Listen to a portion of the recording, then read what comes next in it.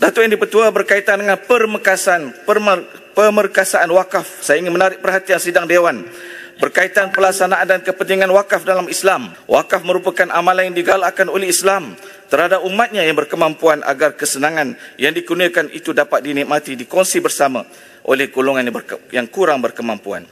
Rasulullah SAW telah bersabda mengenai amalan wakaf ini. إذا مات إذا مات الإنسان انقطع عمله إلا من ثلاثة إلا من صدقة جارية أو علم ينتفع به أو ولد صالح يدعو له Apabila telah matinya seorang manusia, maka terputuslah baginya pahala amalannya, kecuali tiga perkara iaitu sedekah jariah, ilmu yang bermanfaat dan anak yang soleh yang mendoakannya. Justru saya, saya memohon dari pihak kerajaan berkaitan pertimbangan kelulusan pelaksanaan pengecualian cukai bagi bayaran wakaf yang diberikan.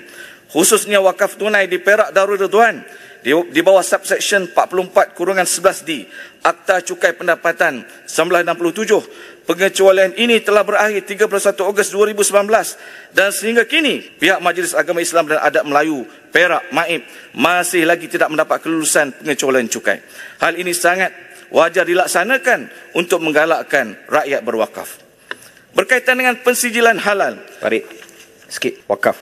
Uh, adakah yang bermak bersetuju uh, wakaf ini menjadi solusi untuk mengurangkan harga barang dan kos-kos lain? Jadi adakah yang bermak bersetuju wakaf ini mesti juga dibuat merentasi kementerian, tidak hanya kementerian agama tapi kementerian pembangunan usahawan, kementerian keuangan dan lain-lain. Adakah yang bermak bersetuju? Saya setuju dan masukkan dalam ucapan saya.